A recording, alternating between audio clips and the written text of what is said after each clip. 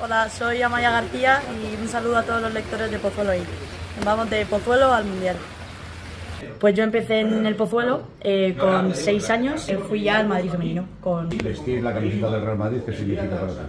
Pues es un honor. Por ejemplo, ahora con la selección española pues hemos ganado un mundial, que se dice poco, y los chicos solamente tienen uno. Entonces yo creo que es una cosa que va a ser una carrera de fondo, que va a costar, al igual que los chicos pues poco a poco ese, esa importancia se ha ido viendo. Pero bueno, eh, cada vez son más las niñas que quieren jugar al fútbol. Cada vez- Bueno, lo que caracteriza un poco a, a la posición de, de central es la contundencia que tienes, lo dura que eres con los rivales. Si quiero jugar al fútbol, tengo que seguir estudiando. ¿Te gustaría jugar en el Bernabéu? Hombre, por supuesto. Sí, sí, sí. Es uno de tus sueños, supongo. Eso es un sueño, sí.